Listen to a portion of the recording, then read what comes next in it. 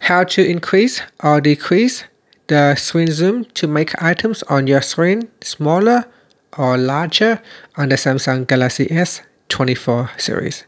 First tap on the home button to go back to the home screen. Then swipe down at the top to open up quick settings. Now tap on the settings icon. Then scroll down to the bottom and tap on accessibility. Next tap on vision enhancements. And after that, slow down, then tap on screen zoom.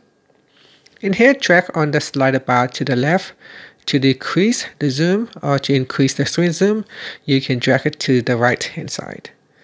And that's it. After you can tap on the home button to return back to the home screen. And as said here to change the size of text, simply go to font size and style to increase the size of text instead of the screen items.